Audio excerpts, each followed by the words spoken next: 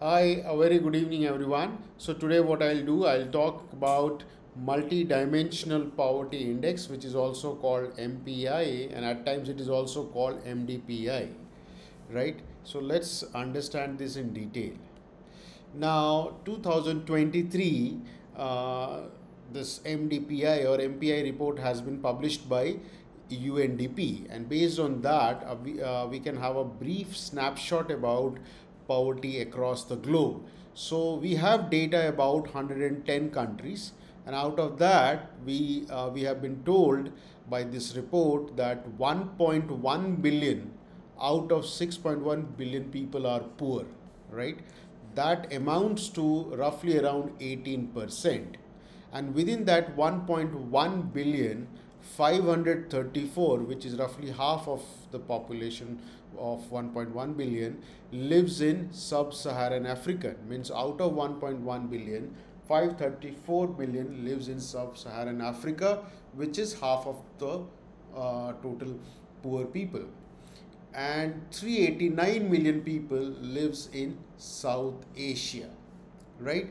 So when we also compare with middle income countries and low income countries, what we see nearly two-thirds of the people, which amounts to 730 million people, lives in middle income country and 387 million, which is roughly around one-third of all poor, poor, poor people lives in low income country. So this is the brief, brief snapshot of uh, MDPI report 2023 published by UNDP.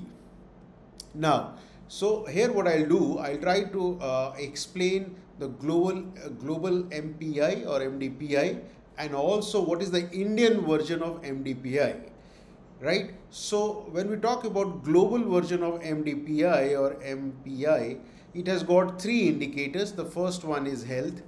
Sorry, it has got three dimensions. First one is health.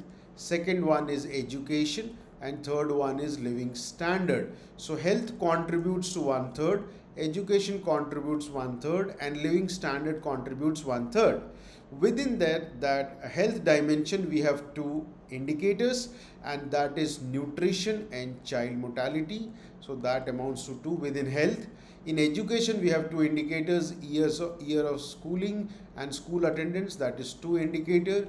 And in living standards, we have six indicators, which is cooking fuel, sanitation, drinking water, electricity, housing and assets.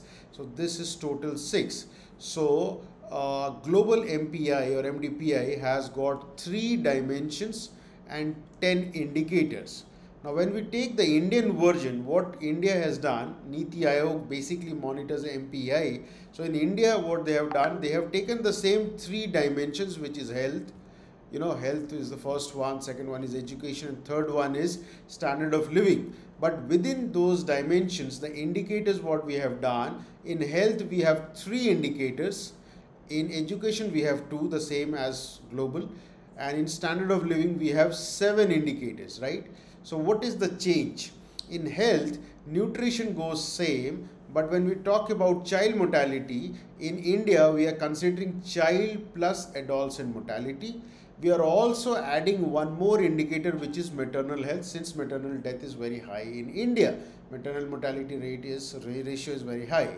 In education, there is no change. In standard of living, what we can see, we can see that you know we have same cooking fuel, sanitation, drinking water, housing, electricity and assets, but a seventh indicator has been added which is bank account. So we have in Indian MPI, we have three dimensions and 12 indicators.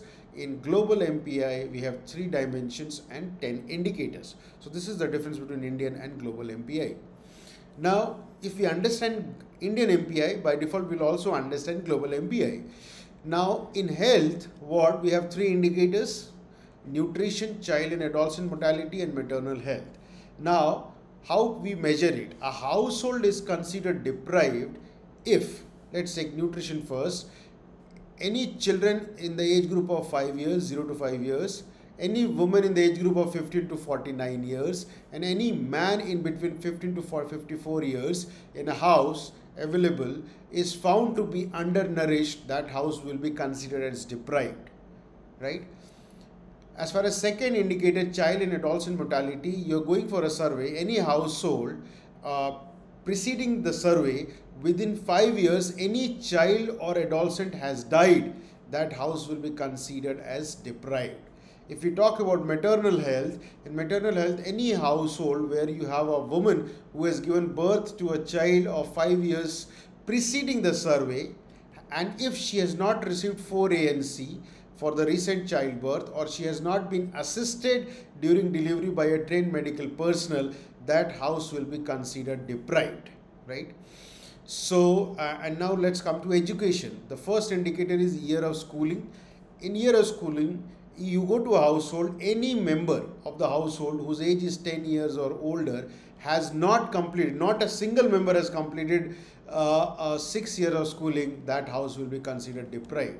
When you talk about school attendance, you go to a house, any school age child who is not going to the school or not attending to the school, if for the age in which she is expected to complete class 8 schooling, that, that house is also considered deprived right? When we talk about standard of living we have cooking fuel. You go to a house you find that house is cooking uh, food with the help of dung crops shrubs wood charcoal and coal. Not using lpg gas is considered household deprived.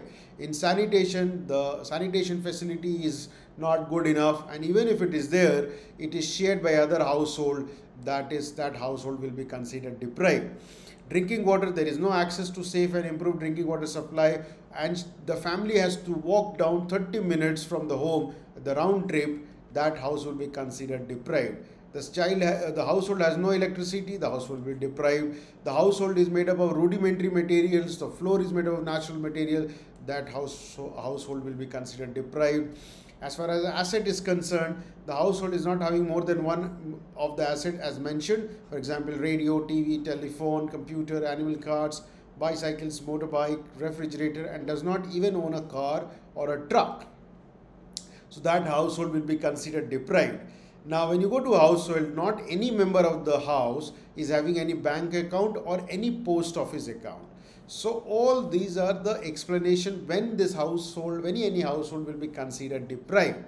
Now, as we know, the dimension health is one third. When we take about the weight of the different indicators, nutrition we give one sixth, child and adolescent one twelfth, and maternal health one twelfth. Schools, the education is one third, so year of schooling is one sixth, and school attendance is one sixth.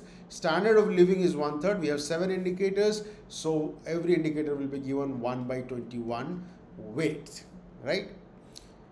Now, the MDPI report by a UNDP in 2023, what we have done, we have uh, compared with India with other countries. So we can see MPI is measured between 0 to 1. Now, India value of MPI is 0.069 when we talk about in percentage, it is 16.4%. The intensity of deprivation, deprivation for India is 42%. Uh, now, if we talk about 16.4% of the population, which is 2 lakh 30,000 approximately people are multidimensionally poor. 18.7% is the people who are vulnerable to uh, poverty or multidimensional poverty that amounts to roughly around 2,63,000 people in 2021. The intensity of deprivation is 40%, which is the average deprivation score among people living with MDPI. Now, we have compared MP, MDPI value with the other countries, Asian countries like Bangladesh, Pakistan.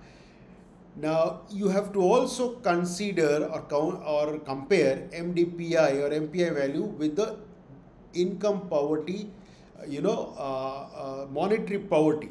Now, monetary poverty is basically percentage of population living below 2017 purchasing power parity US dollar 2.15 per day. So, in simple terms, it is only dependent upon the money. Now, monetary poverty only tells one part of the story. It doesn't tell the, the whole story. Now, if you see the head count, that incidence, the population uh, which is one which is poor in India is 16.6 percent. But when we consider income it is 10 10 only. So what happens to 6.4 percentage? 6.4 percentage means that individual living above monetary poverty line may also have deprivation in health, education, and standard of living. In simple term, it says that money is not everything, right? Now, uh, so how to interpret it MDPI or MPI? If the percentage falls between 20 to 33.3 percent, it means the population is vulnerable to poverty. If it is greater than 33 percent, it is poverty. If it is greater than 50 percent, it is severe poverty. The range, as I've already said, it is between 0 to plus 1.